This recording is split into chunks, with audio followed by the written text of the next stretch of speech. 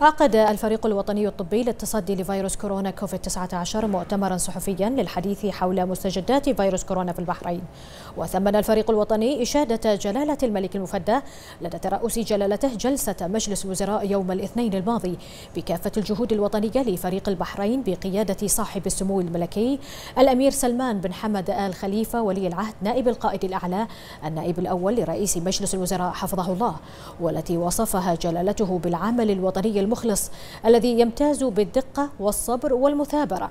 هذا وأكد الفريق الوطني أن شعار المرحلة الآنية نلتزم للبحرين يدعونا لاستشعار أهمية الالتزام بوعي وعزم حتى الأول من أكتوبر القادم.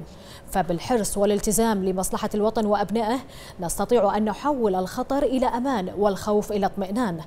كما أن الكوادر الطبية والتمريضية والجهات المساندة يستحقون منا تقدير تضحياتهم عبر الالتزام المسؤول بكافة الإجراءات الاحترازية والتعليمات الصادرة.